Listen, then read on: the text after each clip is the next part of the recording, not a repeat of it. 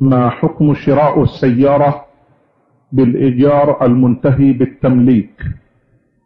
هذا لا يجوز لأنه جمع بين عقدين عقد إيجارة وعقد بيع وكل عقد له أحكام خاصة فلا يخلط بين العقدين عقد إيجارة وعقد بيع هذا لا يجوز.